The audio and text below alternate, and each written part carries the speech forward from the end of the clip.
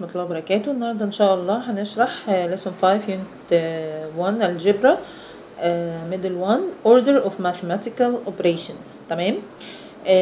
إحنا عندنا two examples one example بس ب two ways of solution.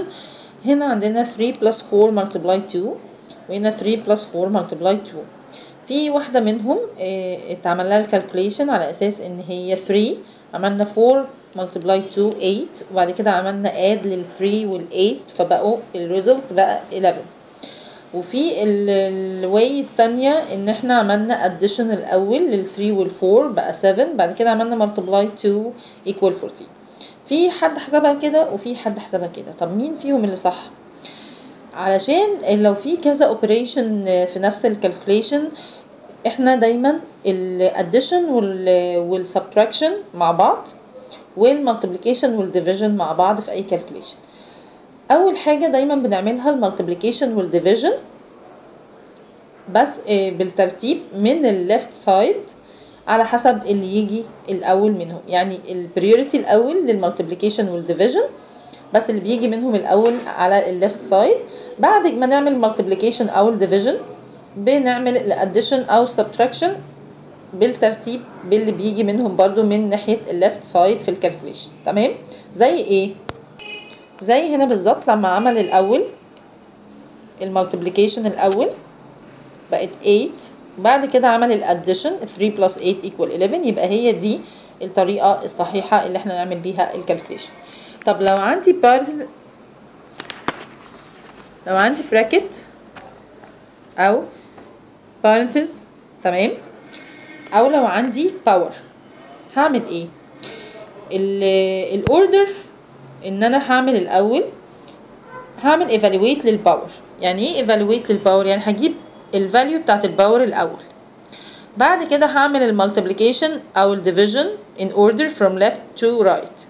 بعد كده هعمل addition and subtraction in order from left to right. يبقى الأول لو ال لو ال exercise أو ال problem بتاعنا فيها power يبقى هعمل الأول evaluate لل power بعد كده هعمل ال multiplication أو ال division وبعد كده هعمل ال addition أو ال subtraction طب لو في parentheses في الموضوع أو brackets فيبقى هعمل evaluate الأول لل لل calculations اللي جوه ال parentheses أو ال brackets بنفس الطريقة إن أنا هعمل برضو نفس الحكاية لو جوه ال brackets أو ال parentheses عندنا في power هيتعمل evaluate لل power لو في multiplication أو division هو اللي يتعمل الأول بالترتيب من ال left side لو في addition أو subtraction برضو يتعمل كله جوه ال parentheses بعد كده بيتعمل ال result بتاع ال parentheses وبنشوف بقى بقية ال calculation نعمل evaluate لل powers وبعد كده هنعمل multiplication وال division بعد كده هنعمل ال addition وال subtraction نشوف example.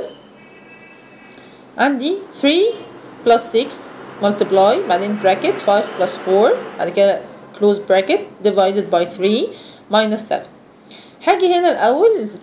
أنا عندي هنا parentheses لازم أعمل ال calculation بتاعها الأول.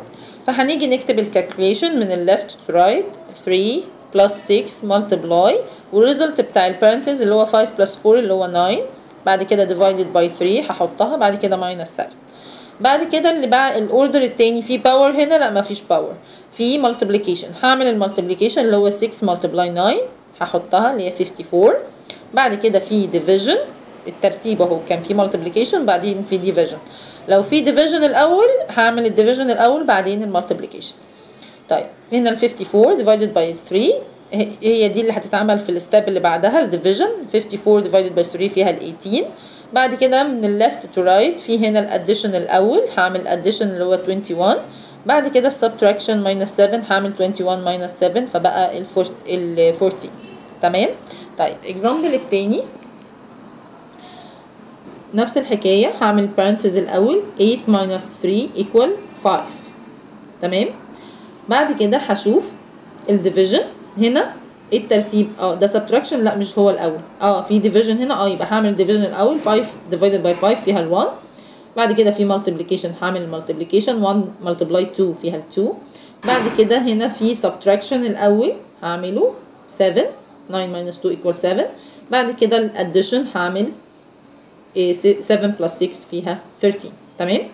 طيب ده كده بالنسبة لل ordering طب لو في two parentheses هعمل ال parentheses الصغير الأول وبعدين اعمل ال parentheses الكبير وبعد كده أشوف بقى ال ordering بتاع ال multiplication وال division وال subtraction وكده.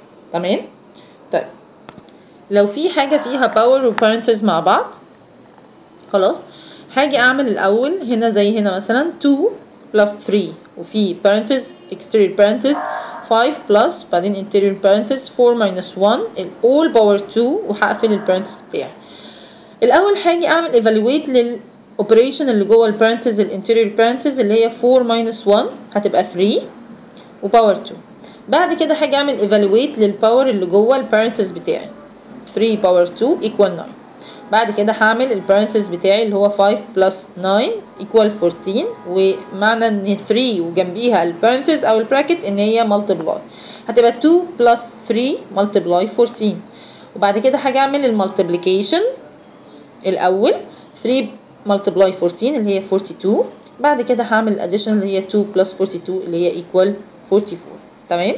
نفس الحكاية في ال example التاني. هاجي الأول أعمل جوه ال bracket أو ال parenthesis بتاعي ال power بعد كده هنا في power وهنا في power هعمل ال power جوه ال bracket ده وال power جوه ال bracket ده.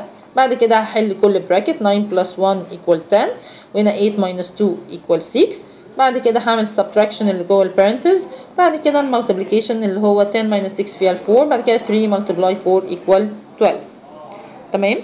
طيب لو عندي حاجة زي ال division زي ال fraction زي مثلا 36 minus 6 over 3 plus 12 هاجي أعمل numerator أشوف ال calculation اللي على ال numerator الأول أخلصها. واشوف ال calculation اللي على ال denominator الأول أخلصها بنفس ال ordering ونفس الترتيب اللي إحنا بنعمله.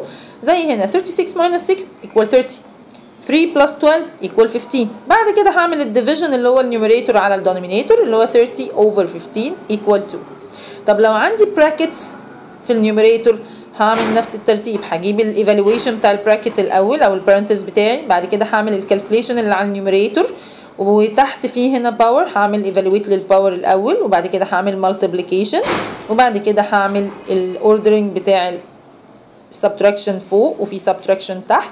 هعملها هتطلع 10 over 5 اللي هي equal 2 تمام؟